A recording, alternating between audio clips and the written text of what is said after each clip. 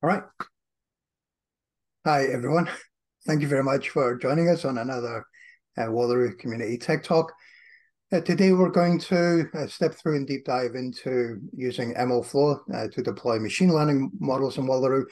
And so, really, again, you know, everything we do at Wallaroo is about getting your machine uh, learning models into production, and not just you know, uh, you know, getting them into production, but getting them into production really fast uh, also, you know, bringing the ability to scale, and also once you're in production, making sure that the the models are, you know, returning that effort that has been put into them back to the business. So, you know, bringing the capabilities of monitoring, uh, you know, validating those models, uh, and then observability as well. And so, if you've uh, joining us for the first time, we have a number of uh, videos and content on our YouTube channel and uh, we keep uh, these community tech talks uh, every two weeks. And so uh, we'll have other topics, uh, again, relevant to ML in production. And, uh, and so we'll, we'll keep that going for the audience. And we always love to hear from our audience as well. you know, if they, if there's any specific topics that are top of mind, obviously LLMs are top of mind right now. We are working on content for that as well. So, you know, please stay tuned. My name is Martin Bald. I am the community manager for Wallaroo.ai, and uh, I love uh, engaging with uh, practitioners, data scientists, uh, and ML engineers uh, in the ML ops space. And so great to have everybody uh, on the call. And also, if you're watching this on the recorded video as well. So, thanks for taking the time to join us. I'm going to hand over to my colleague, who is much smarter than me on this topic. so, Aman, if you want to take it away from here. Thank you so much, Martin. Thanks for um, providing this opportunity to um, show how we use MLflow here at Wallaroo to deploy models um, for, for all the users um, and our customers here. Um, my name is Aman Kaur. I go by Aman, and I have a, I am a solutions engineer at Wallaroo since last September, and it's really exciting to work here. So I'm I'm very happy, and um, so let's uh, uh, dive into the topic. So we are going to, like I mentioned, we're going to talk about using ML flows to ML flow to use um, show how we deploy these models in Wallaroo. So just starting with a little bit of introduction on MLflow. What exactly is it? It's it's an open source platform uh, which basically goes through the whole machine learning lifecycle, starting from training the code, writing the code, and all the way to the production. So there are four components to it uh, which are tracking, projects, models, as well as registry. So I'll start with the very first one, give you a very quick introduction about all of them, and then focus on the one we actually use here at Wallaroo. So for the tracking, what exactly it is? It is a component for API or UI for logging parameters, code versions, and metrics for the training data um, for a given data scientist or user who is, who is working on a particular code. So all these parameters and metrics are stored um, in a new experiment or let's say log format. And this is, again, it's all for the training data. So it's essentially a centralized repository for metadata for training sessions within an organization so that multiple users can take a look at the same data and train it and still have exactly the same results. So that's the main idea behind tracking. And then projects is this is uh, basically what it does is it enables multiple users to reproduce the results from that training model. And again, basically package it in a format so that all the results are reproducible. So this is again uh, like a packaging format for the training data so that any users eh, on any particular environment um, can run the same code can train it and still reproduce the results. And all this is logged here in these projects. Okay. So then going over to the next part, which is model, here is where we talk about actually the model uh, deployment. So this is a model package, which is essentially just like projects, but instead of training data, this is for the actual model itself.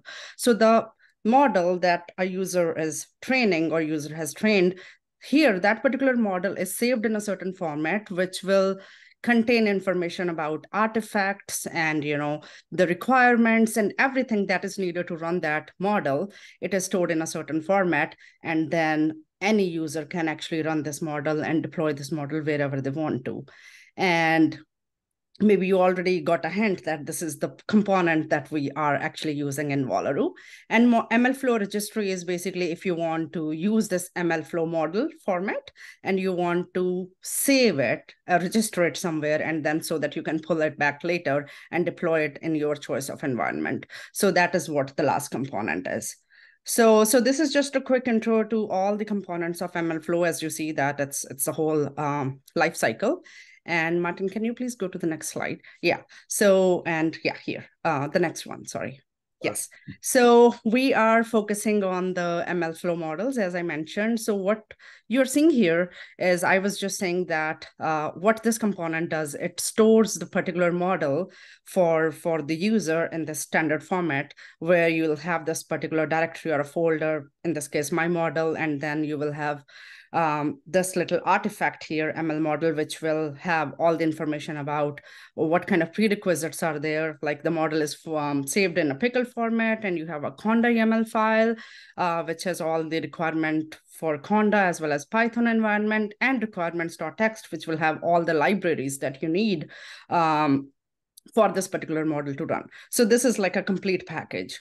So what a user can do, take this standard format, which was created using MLflow models part, and then containerize it, for example, using Docker, and register it somewhere. For example, on GitHub or on cloud, anywhere, like any, any place of your choice.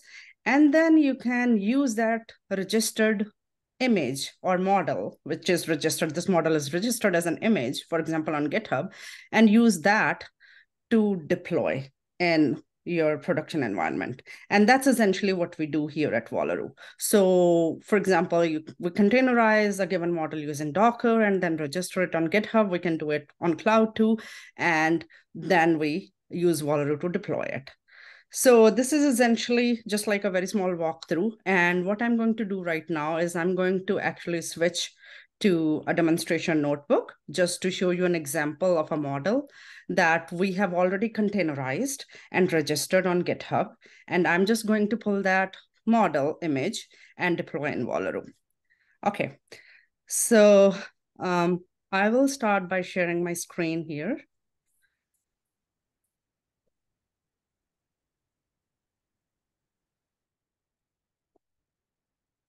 Okay, can you see uh, my screen? Yeah, got it. Okay, perfect. So what you're seeing here is, um, so this is uh, Wallaroo's instance, like for example, this. Um, so I have um, my own instance, and then what you're seeing here is just, this is like, for example, uh, an example workspace. And for each workspace, we have different pipelines. So the whole idea of workspaces is that uh, you can put certain models in a given uh, workspace so that everything is organized in a way. So um, the basic thing to start with Wallaroo is we'll start with workspaces. So um, before going into this particular notebook, let me give you a little bit of overview of the model that we're going to run here. So it is basically um, a model which has two components. Um, it's a stats model, uh, which would uh, basically um, run um, an inference uh, or a prediction whether a day is good day to bike or not. And then the second component is post process, which actually calculates a z-score, which basically is a way of telling you whether what is the probability of riding or like taking the bike out on that particular given day, given that these are the things in the environment, like how is the sun and how is the temperature, weather, and all that kind of information. We'll go into it in more details here. So in the very beginning, what we are doing here is we are just importing a lot of libraries and Wallaroo. Um, so this is running in Wallaroo, but you can even do it from your own local notebook and you just have to install Wallaroo. Um, so just like Wallaroo SDK, you can use that. And then um, you connect to the Wallaroo um, client using this. And like, for example, because right now I'm in the Wallaroo environment, I can just use this unless like, otherwise you'll have to have your credentials. If you have the community license um, or enterprise license, you will use your credentials to log into Wallaroo client. And so this is your connection. And this is where we are setting up the workspaces and pipelines. So like I mentioned, workspace is just like this um, folder or this area where you are putting your information about a given model and you will set up the pipelines uh, which will take the model information and then deploy it. So this is just an organization step here. So defining these things and i'm just going to call it demo for mlflow workspace and similar for the pipeline name. So i'm just defining these pipelines and this is where the very first step, which is very important for an ML flow model to be deployed in Wallaroo comes into place. So what we need to do is we need to define something called input schema. So what does that mean? So you have this input data for this particular model. So for this input data, you have all these features on which your output is dependent, and you have to define the data type of each feature. For example, in this, it's temperature, holiday, working day, wind speed. So you have to define basically what kind of data type is in there, and you call it the input schema. And this is what we're defining for the first model, which is the inference model, the stats model. And then uh, um, the second one, so sorry, this is the forecast uh, stats model. And then for the second one, which is the post-processing, that basically calculates the statistical probability. Uh, that just has one column in it. And so that is the mean, and that goes as um, that again you have to define the data type so remember that the input of this particular model goes um, produces an output which is also the input of the second model and so we are defining these inputs here, the schemas. And now the next step is let's pull those image images, which we just talked about that they were registered on GitHub for us for both the models. So this is the stats model, the forecast one, and this is the post-processing model, which is basically the statistical probability. And so you are just pulling in the information and from GitHub registry. And the important step here is, so you already connected to Wallaroo client, and you are just going to, going to use this function called register underscore model underscore image and provide the name as well as the image um, URL um, to that particular model. And then you configure it you are going to tell Wallaroo that, okay, this is configured in an ML flow format. And so it is going to require you to provide an input schema as well as output schema. Input schema, we already defined how the input data went into the stats model. And the output is essentially the input to the second model because that's going to produce one output here. Um, and then we define the same thing for the post-processing model, the second one. So here input is one and output is one. So basically input and the output schema are essentially exactly the same. So this is this is one step, like you define schemas, then you register your model image. Um, and um, after that, now you have registered the image, you just add that as a model step. So you have these two models like stats and the post-processing, you're adding them to the pipeline that we generated above. Remember I was talking about pipelines, that that pipeline is the one which will deploy um, your model information and then run the inferences. So registering the model, adding the model step, and now comes the deployment part. So this here that you're seeing here is the deployment configuration. So this is this can be as simple as just like pipeline.deploy.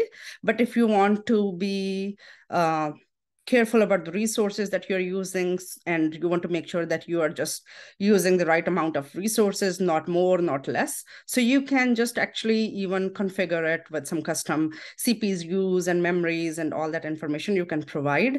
And when you actually deploy it using the pipeline you can provide this configuration in here. And so after that you deploy it and since I already deployed it and you can see that it is already deployed and we are ready to run the inferences. And so you can also check the status of your pipeline. It says running. That's all great. And now I'm going to run the inference by using a file where the data are stored. So like I said, this is basically just a bike day evaluation uh, based on the parameters you just said, where, which we defined in the input schema. And it's in JSON format. So this, this particular command will take JSON format um, and it will produce these results. And you see that it's a lot of information. What it is telling you is it has like all these features. And so basically seven different scenarios. So you are getting your output for all these seven different scenarios, which is basically the z-score um, as the probability uh, for the bike day. So after you're done, after you say that, okay, I got my inferences in, you can undeploy that pipeline and give the resources back to the cluster. And then um, basically that's that's it. So you see, it was a very simple process. Like you register the model image, you add that model step, you deploy the pipeline and run the inferences. So very, very efficient and um, a great procedure here. So um, this is all. And uh, basically the takeaway here is that we can use uh, different kind of custom format models um, in Wallaroo for deployment. Like there is a lot of native support, but if not, we can use MLflow to containerize them and still run inferences. So that's all that I have to say. Thank you, Martin. Back to you. Thanks, Aman. Asa, do you, do you have any questions? Or can we help? Uh, yeah, uh, I actually have used MLflow and um, Microsoft, like and Databricks for deploying some models. And uh, I was just wondering what you meant by um, ML projects that can be used in different environments, because you mentioned that uh, they can be used in any environment. So is that the Dockerized version? Is that why it can be run on? Uh, is that why it's environment uh, independent? so MLflow has its own UI. So, like for example, in the in the projects, um, you can actually it stores in a given repository within MLflow, and uh, you can access it. Um, I don't have i don't remember it on top of my head like how do you access it but um, you can do it local. You can even save it locally or you can go um, on a cloud. Um, yeah. I'll, I'll i can get back to you uh, with that answer but that's that's the best. Basically yeah you you can save all that information and um, access it from anywhere Yeah, we we also have, uh, and we will follow up with you, uh, Said. Uh, so uh, what we also have is, I think uh, on our webinar last month, uh, we did, uh, you know, using Azure Databricks as well. So I can send you the link to that recording, and that actually shows you, you know, if you're in that sort of Azure Databricks environment, uh, you know, how you can, you know, make sure that you have that continuity from you know, doing your testing, experimentation, and right through to production, and uh, and how you know Wallaroo sort of fits into that, right? And so we have uh, a number of sort of SDK. So there's different ways in which you can you know you know work with the product. So we have the UI, uh, uh, we have the uh, SDK, and then we also have APIs that plug into other technologies that folks have invested in or are using. And so it's important to make sure that we, you know, plug into uh, those environments so that folks aren't sort of going through one stage of uh, you know pre-production and then they have to jump out to another tool and do learning in a different environment so we help provide that continuity through those apis and that sdk so like Aman mentioned you can you can bring your own uh, notebook uh, you know, to this so you, you know you don't have to use uh, the one that's built into the product Any other questions? uh, no, no, I don't have any other questions. Okay, okay, cool. Uh, yeah, what we'll uh, just, uh, share my screen here and then what we can do.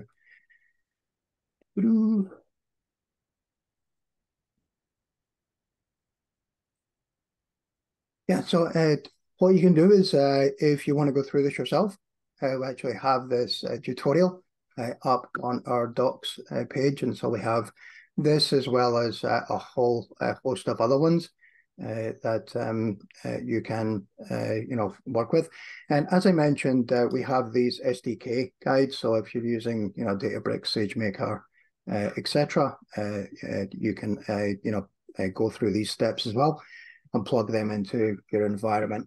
You can also do this through the uh, Aman mentioned we have the community edition. So the community edition is free doesn't expire, so you're not in a pressure situation where it's like, oh, I've got 30 days to use this or it expires. You know, it's it's unlimited.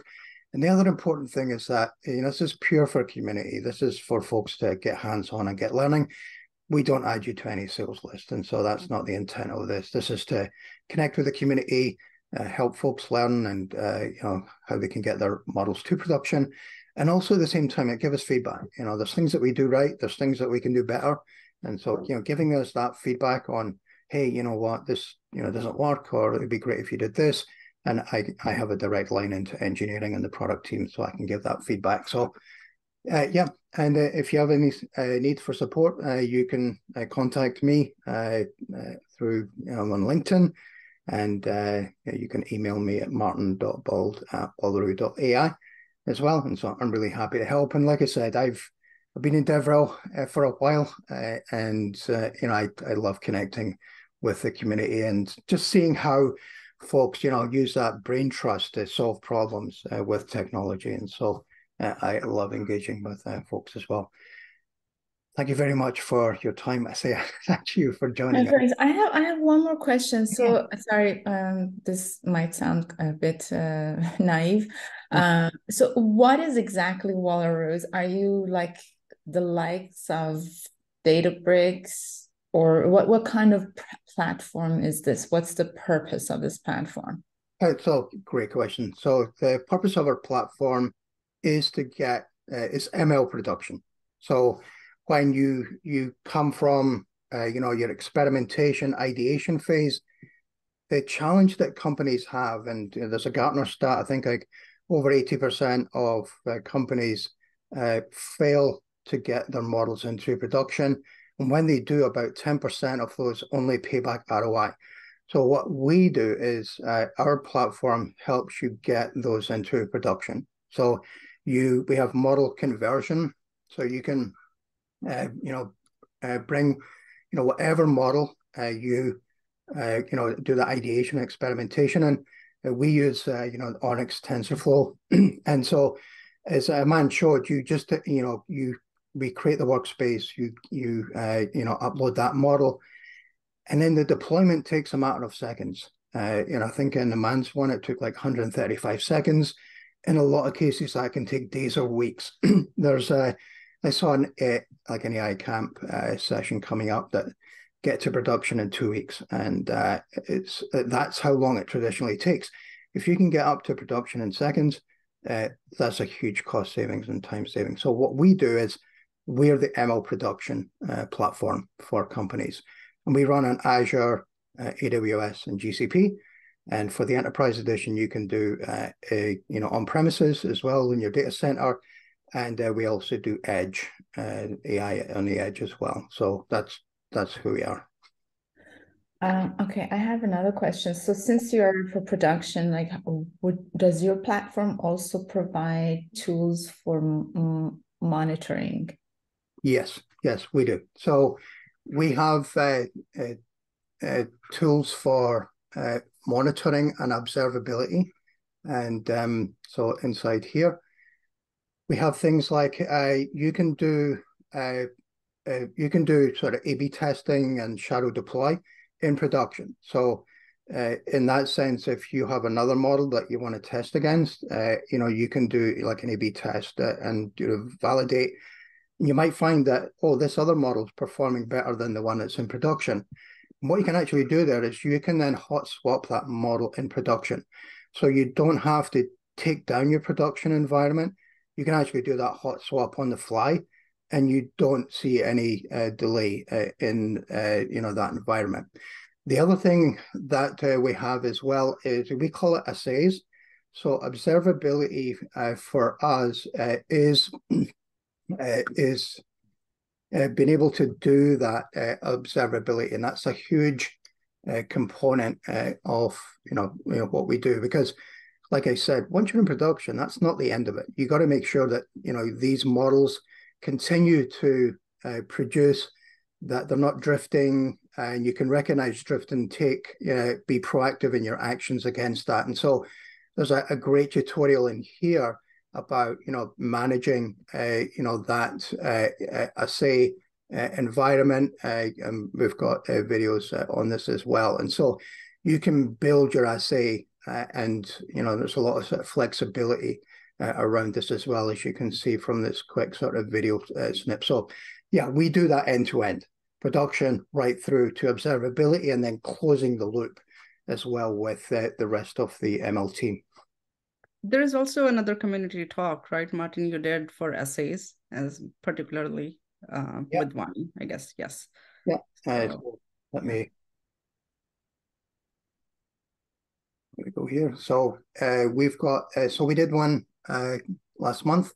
So it's uh, detecting uh, ML model drift and acting on it. So I, I can share this one with you as well, and I'll share the link to the uh, tutorial also. So now, like I said, you can go try these yourself and, and get some hands-on. And please, yeah, reach out to us, let us know how we can help, and along that that journey. Thank you very much, Martin, and and you also, uh, Aman, for the presentation. Awesome. Great questions, and yeah, there, there's no such thing as a a silly question or naive question. So yeah, what so we're here for, we're here to help you. Yeah, because there's so many tools and um, companies now and platforms. It's just sometimes I get a vertigo about like who's doing what. What is this used for? It, it is, yeah, because you know it's. I think that's the important part of you know what we uh, what we try and do is we don't just get you to production. We want to make sure that you have that whole tool remit that you know keeps those models running uh, and you know and helps you scale super fast inferencing so you're not burning up you know cloud cost and then the observability piece as well so your ml engineers and your data scientists can collaborate and work together and communicate and make sure that there's no one sort of dropping the ball and there's no uh, you know uh, gaps in that uh, process